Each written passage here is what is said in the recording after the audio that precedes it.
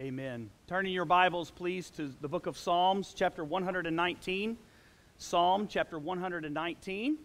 And we're going to begin in verse 105. Verse 105.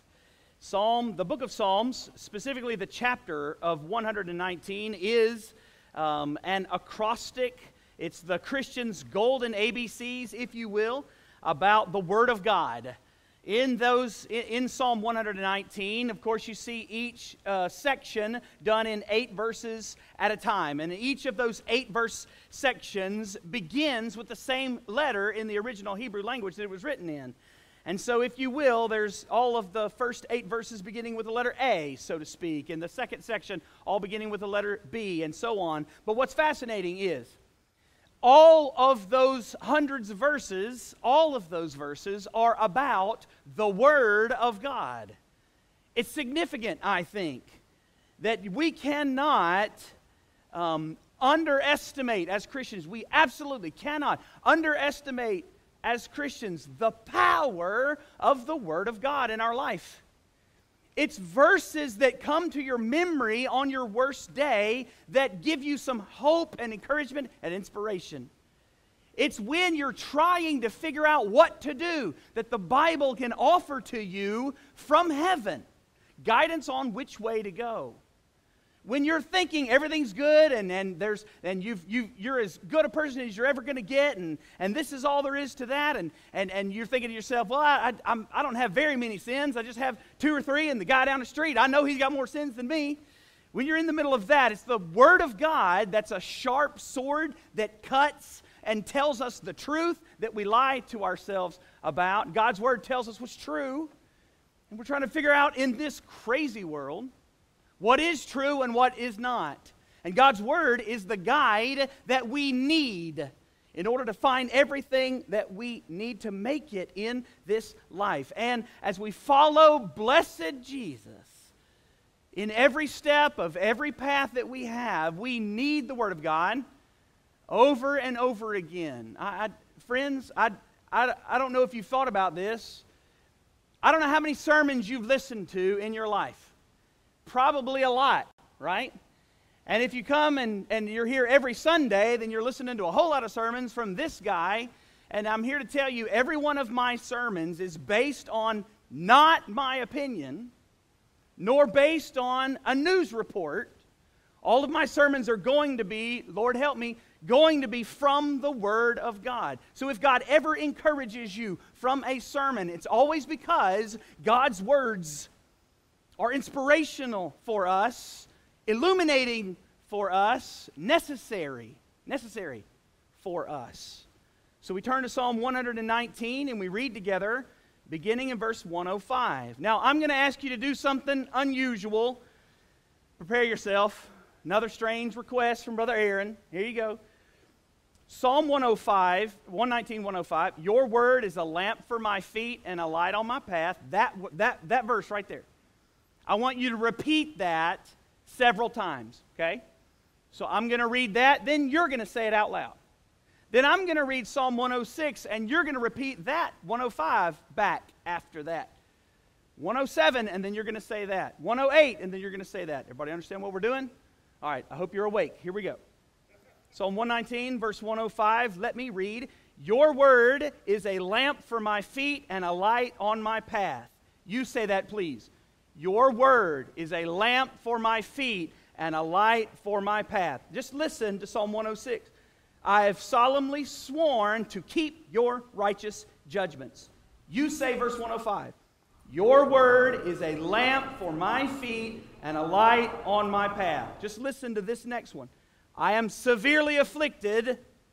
Lord, give me life according to your word. Say 105 with me. Your word is a lamp for my feet and a light for my path. Listen to 108. Lord, please accept my free will offerings of praise and teach me your judgments. Say 105 with me. Your word is a lamp for my feet and a light for my path. Just listen. My life is constantly in danger, yet I do not forget your instruction. You know what to say. Your word is a lamp for my feet and a light on my path. Listen, the wicked have set a trap for me, but I have not wandered from your precepts. Say with me, Your word is a lamp for my feet and a light on my path. I have your decrees as a heritage forever. Indeed, they are the joy of my heart. Your word is a lamp for my feet and a light on my path. Last verse I am resolved to obey your statutes to the very end. Why? Because, say it with me, your word is a lamp for my feet and a light on my path. Thank you for participating with me in that way. I want you to notice the things that God has when we remember that we need an eternal light, an eternal light, when we need it most. Friends, there are times where you are going through it. There are times where you are complacent. There are times where you are struggling. There are times where you're incredibly happy. In every moment, when you need God the most, He provides for you an eternal light. That means that every single day you need a little bit of light. In this dark world, you can get it. That means that every time you need a little bit of flashlight beam, a little bit of candle lit, a little bit of hope in a dark place, every time you need it, there is a forever light that can be given to you, and all you have to do is open up His Word. Every day when you need something, it is God's words, everything God has ever said, some of the things He said through the mouth of Jesus, some of the things He said in the Scriptures but anytime God spoke, those words have weight to them, an eternal weight to them, and they light up the way. Which way am I going to go? God can show you. What am I going to do about this situation? God can reveal to you. Lord, I don't know if you're with me. It's a verse that can remind you of what's true. If you're struggling, if you're fighting a battle of some kind in your life, it can be what God has said, because it's still true. Everything He said is still true. It can be what God has said that will give you the courage to keep fighting the battle. His word shines like a lamp, like a flashlight, like a beam, and it brightly lights the correct path for you. The other paths you're tempted to walk down are darkness places that will lead you away from the Lord. You'll enjoy them. They'll be fun for a season. Sin always is. But they will be places of darkness. And I promise, because I've done it myself, I promise you will stumble when you take the off road path away from God's way for you. And we need the light of God from the Word of God to shine and show us which way to go. And sometimes we're having a bad day and we need God to shine on a particular direction for the hope that we have to hang on to because of a verse He gave us, because of something that was still true for us. Friends, there are at least six times in those verses where there's a word used that represents the Bible, okay? Represents God's words. Look at verse 105. Your word, okay? In the original language, that, lang- that word has a special meaning I want you to think about for a second. It's repeated, by the way, in verse 107. Your word, your word. I want you to think about what that word means. In its original language, that word there has to do with words or God's communication, the things God has said. Scriptures calls God's word, or maybe the sayings of God, because it is what God's mind has declared out loud. I mean, think about how, how can you know what God thinks? You, you can't know all the things that He hasn't said. You can't read the mind of God. But what you can do is every time He has spoken, you see a little bit, right? A little bit of what His mind has thought because you're listening to His words. It's like that with your relationships around you. When they tell you what you're thinking, what, then you know what's going on in their mind. And bless our hearts, some of us men, Just wish we could hear from the women we love a little more of what they're thinking because we're doing the mind reading game and we're failing miserably at that. But we do this in friendships too. We do this in all our relationships. But if you listen, really listen, that's my problem. If you listen and really listen to the words that somebody's saying to you, you'll know what they're thinking. You'll know how they're feeling. Friends, we need to listen to God's words because He's trying to tell us what he thinks and how he feels about us. We find it in his word. You see that in verse 105. You see that in verse 107. Look at verse 106. Your righteous judgments. Judgments. This judgments is a synonym used for God's word or the Bible, if you will. Think about that this word. It, it judgments, this has to do with the fact that God is the judge. And when he bangs the gavel on the bench and gets your attention and says, I hereby declare, this is the way it's going to go guilty, innocent, or maybe he says, My judgment is you should do this. My judgment is here's what you need. But God, that ain't what I need. Well, you don't tell the judge what you do or don't want or need. In fact, your opinion before the judge holds very little weight. It's the judge who gets to decide what's right for us, and he is a holy judge who loves us. So when he comes down with a judgment for us, not even a guilty innocent, just a judgment of what is supposed to be. God, I don't, I don't, I don't, I don't understand why you would do that. He is always giving righteous, holy, and loving judgments for us. And we're to treat his word not as something to be retranslated, not as something to be thrown away, not as a dusty old book to be ignored. We're to listen to the judgments and to listen to the judge who's trying to tell us something. Look at verse 108. That word judgments is repeated again. Let's look at verse 109 and see another word here for these ideas about what God's given us in His Word. Look at verse 109. You see the word instruction. Some of you might see the word law there. This word about your instruction and your law. This comes from that same word Torah. Have you ever heard the word Torah? It's the first five books of the Bible were called the Torah, right? In that Jewish uh, culture. So Genesis, Exodus, Leviticus, Numbers, Deuteronomy, they contain all of the, the rules and laws that God's people are to follow. God gave Ten Commandments in two tablets of stone, written by the finger of God. Hang on. Have you thought about that? Written by the finger of God on two tablets of stone Ten Commandments. They were given to Moses, and there were many other ways. Look, do this, don't do this, do this. Don't, you're going to be my people, and here's how you're going to be my people. Here's all the rules that are going to govern your Christian society. In the Old Testament, this word Torah is instructions. Have any of you tried to build something you bought from the store without following the instructions in the box? Um, some of you did, and you did it. You constructed it, and you had 10 extra pieces left over. And it's still held up so far, and it may hold up for a little while.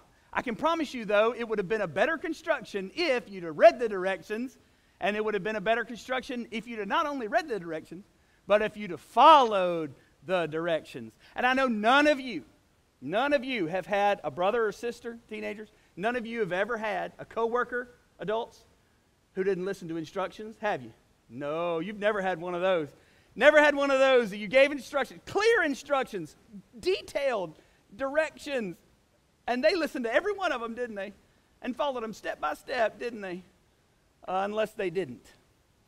And God has given to us what we need to have a great life, a wonderful life in God, a set of clear instructions and directions. The problem is we don't like them. I mean, they're clear enough. We just like what we like, when we like it, how we like it. And we don't like to be told what to do. And we are, oh man, our hair stands up on end and we bristle at the idea that somebody would dare control us. It's a glad submission when you bow before the king and just do as he instructs. And you'll find happiness in that place if you'll do such. Look at verse 110. I've not wandered from your precepts, your precepts. That word for precepts here has these other ideas that this is the will of God. This is what God wants for your life. These ideas, these precepts, they come from heaven and they're for you. And if you will do these things, these ideas are for your good and they will bless your life, but you do have to listen when these ideas and precepts and instructions and procedures are given to you. And this is what God wants the will of God for you. We're to listen to those things. Listen, there's another phrase here in verse 111. In verse 111, what does it say? It says, I have your decrees, your decrees. And when we think about the word behind that decree, I want you to think about the idea of testimony. Testimony. You, if you witnessed a crime and you had to go to the uh, judge and, and explain your witness, your eyewitness testimony, then what you would do is say, I have seen, and here's what I saw. Just the facts, so to speak, and only what you witnessed, right? There is a witness in heaven named the Lord God Almighty who sees everything, and he will testify to you of what's really going on in your life. And you can ad- ad- accept his testimonies. You can accept these things with joy, these decrees that come from an eyewitness who has authority over you. You can listen to these, instru- uh, these testimonies and these witness things from on heaven, and you can listen to them and obey them and follow them and say, you know what? I thought God didn't like me. But God testified and witnessed to me that He really does love me. And that some of what I'm going through, He's actually going to use for something good. All I can see is my tears, but maybe He's got something good planned I can't see. So if you will believe the testimonies, if you will believe the witnesses that God has given to you, then when you do that, you will recognize God's loving words in your life your decrees, your testimonies, your witnesses. Look at verse 112. Look at verse 112. It says, I am resolved to obey your statutes. Your statutes. In the original language, this word has to do with a law, it has to do with a statute or a prescription. Listen, this is fascinating. This same word has to do with literally carving onto metal or stone a set of laws or statutes. It's written on the paper with permanent ink that this is how it is supposed to go. The statute could, might as well be literally written in stone, carved carefully by the finger of God, which literally happened in the Ten Commandments and happened in God's written words here, written by God's own hand to tell you this is the way things ought to go. And when God writes things, inscribes things, carves things onto these permanent places, the eternal, unchanging God is giving us a set of rules that never, ever change for us. So we have a constancy, we have a permanence here in the laws of God that are for our good, not for our anger, but for our good. Let's go back and look again, beginning of verse 105. And let's remember that God's word is a lamp and a light, this eternal light that we really need many, many days. We said again in verse 105 Your word is a lamp for my feet and a light for your path. Have you ever felt like you're walking around stumbling in the dark in your life? It's God's word that can shine a little bit of some of what's really going on and of some of what you need to know and what you need to do as a result of that. So take the flashlight of the Word of God, shine it on your situation, and let God reveal with heavenly light everything you need to see and the path you need to walk on. Look at verse 106. I've solemnly sworn to keep your righteous judgment. How many of you, when you signed up to follow Jesus, you said you were going to sign up to follow him wherever he took you, and you solemnly swore, so to speak, that this is the life for me from now on? When you turn to Jesus, when you give your life to him, when you pray to him, then after that, you're baptized. But, friends, that's not the finish line. That's the starting line. The starting line is the moment you got on your knees and said, I'm done with the old way, now I'm on the new path. and you are solemnly swearing to give your life to the king. That's not a small thing. When we go to VBS, kids camp, youth camp, and we talk to them about the truth of the gospel of Jesus Christ, I don't, I don't do this as if it's flippant or, or small. Even a child who gives their life to the Lord is literally determining the rest of their life. That's not a small thing, that's a big deal. And we're solemnly swearing to continue to go God's way. The problem is that we break our covenants all the time. People will go before the marriage altar and solemnly swear that until one of them dies, they're going to stay together. And something happens, or many things happen, and the covenant is broken. And the divorce comes.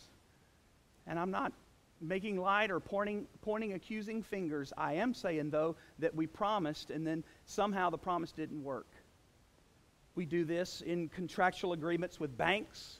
We foreclose, refuse to pay, or can't pay. We do this all the time in our friendships. I'm going to call. I'm going to call you. I'm prayer. I, I swear I'm going to call you. I swear I'm going to take. I swear I'm going to take time. I swear I'm going to fix that. I swear I'm going to do that thing around the house, baby. I swear I'm going to. Whatever the promise is, we promise. We promise. We promise. And and sometimes we keep our promises, and sometimes, well, we meant to, but we didn't.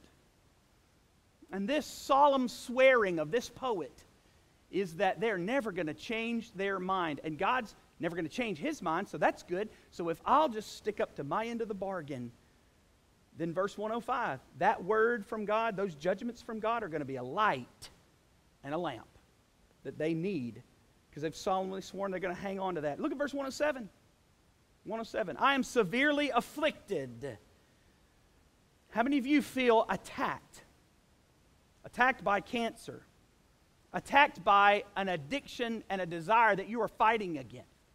How many of you feel attacked by people who are causing your life to be very difficult and because they're doing ungodly things and it's absolutely ruining everything in your world? You feel attacked. How many of you feel attacked because something that you love, someone even maybe that you love, is fighting and you don't know how to help them? And you feel attacked too because of how much you love them. 107, I am severely afflicted. Lord, give me life according to your word. That his life would be a lamp and a light, right? That the life God gives would be that when we're fighting, we'll remember from Bible verses that it's God who fights on our behalf. We'll remember that when we're fighting, that it is God who said that no weapon formed against you can prosper. No weapon can win when it attacks you because you have the great eternal Lord God Almighty who's got your back. And so Satan can do his dead level best, and because of God, he won't win. God instead will win in your life. Lord, give me life. I am severely afflicted. I'm fighting. God, fight my battles for me. And it's Exodus 14, 14, 14 that comes to your mind when God told the nation of Israel when they were at the Red Sea, uh, Pharaoh's army behind them, and nothing but ocean in front of them, no path marked out for them to go. In a moment of panic, God said to Moses, and Moses said to the people, Be still. Listen, all you have to do is be still. God says, I will fight for you. And he split an ocean in half. And they walked on to safety. So we're fighting and we're afflicted and we're in a battle, but praise be to God that God's word reminds me of who's fighting for me. Verse 108 Lord, accept my free will offerings of praise. Do you notice that the praise is not an offering of an animal sacrifice, no blood to be spilled? Because Jesus died on the cross as the Lamb of God for our sins, but we do offer him praise. We do sing. We're a group of people in our religious faith that's all about singing. And some of us sing with the best we got, and some of us don't sing very well because we're afraid people are listening to us. But we sing, and where do you sing from? You sing from your heart. And when you give some praise to God, He hears the most beautiful song coming out of your heart no matter what sound is coming out of your lips. And it's given, is it given under compulsion? Does God declare to you in a law that you have to give Him offerings of praise? It's a free will offering, a gladly given from a joyful heart. God's not, God doesn't want to take my money. I'm glad to give God my tithes and offerings. God doesn't want to take my joy.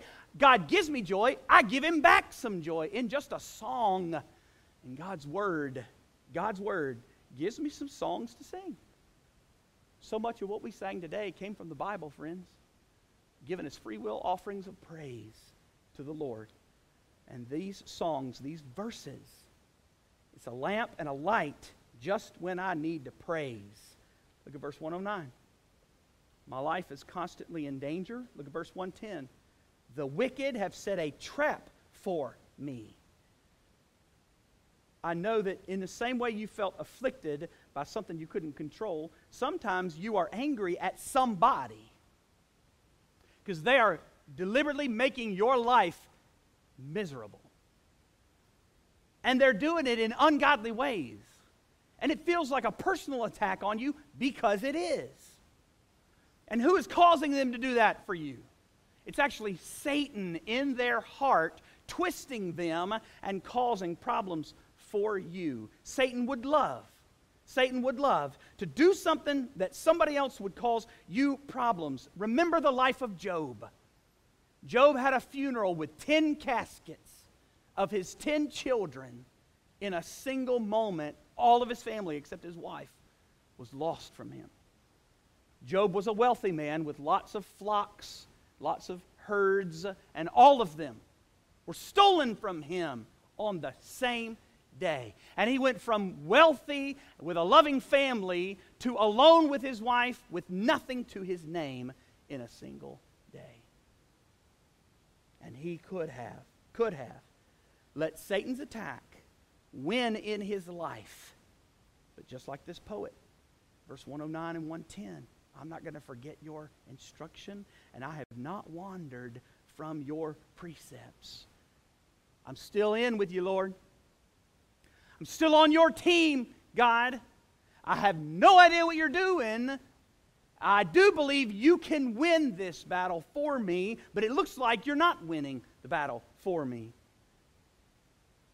The, the, the 12 disciples of Christ felt this exact same way too. Because the Jesus whom they loved, who was the king, the Messiah, the one they've all been waiting for, this Jesus willingly let the Romans arrest him went before them and, and, was accused of stuff he never did. He was an innocent man put on a farce of a trial and sentenced to death for stuff he had never done. And his disciples said, We lost, the wicked one. Satan killed the Son of God. And when he died on Friday, they spent all Saturday in fear and mourning until Sunday when they went to check on his dead body and discovered that wicked had not won, that evil had not conquered. They discovered that Satan had deliberately played into the almighty sovereign plans of the Lord God Almighty, who gladly sent his Son to die for the sins of mankind, and then proved to the world he was the Son of God by raising him from the dead, proving that he was more than sin and more than death.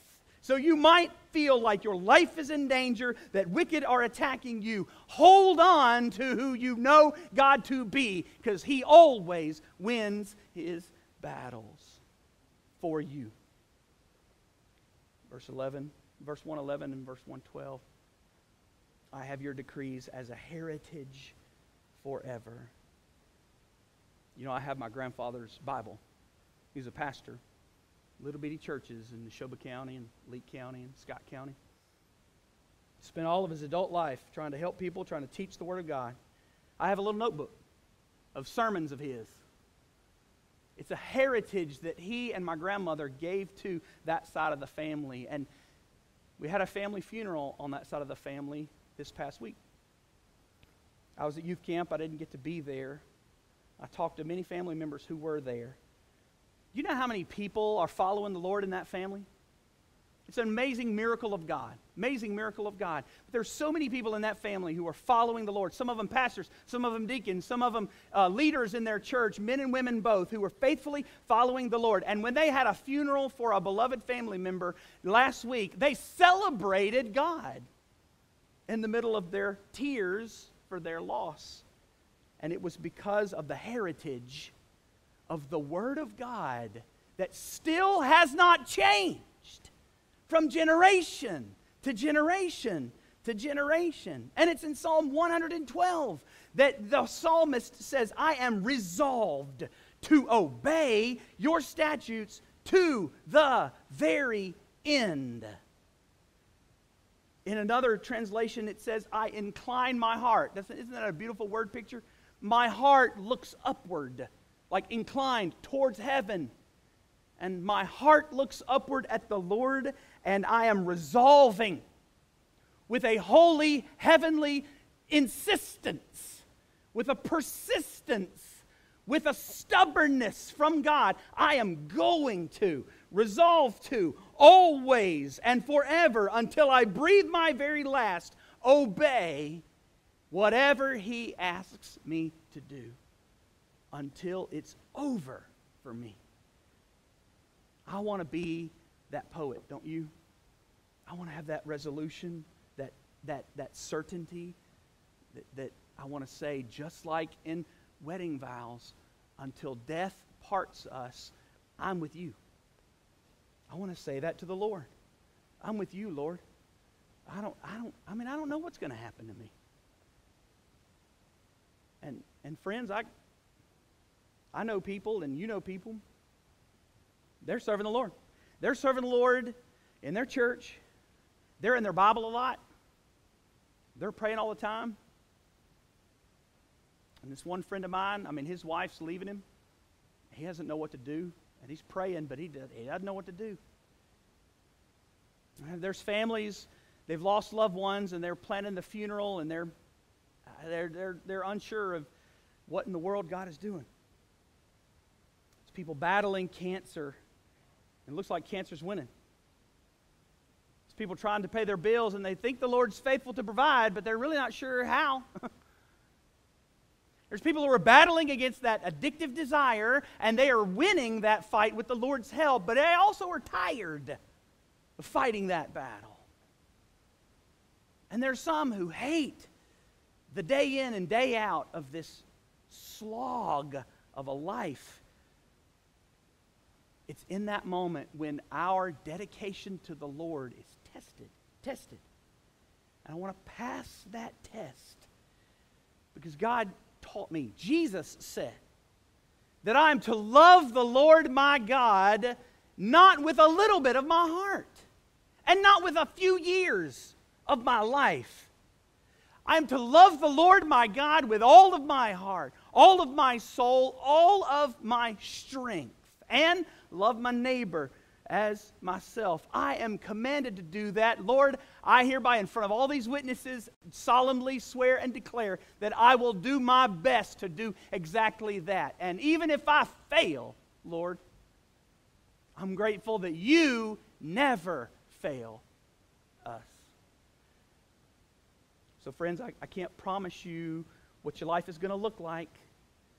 Can't promise you that you won't have to hang in there one more day by the skin of your teeth. I can't promise you that it's not going to feel like a fight to hang in there with the Lord.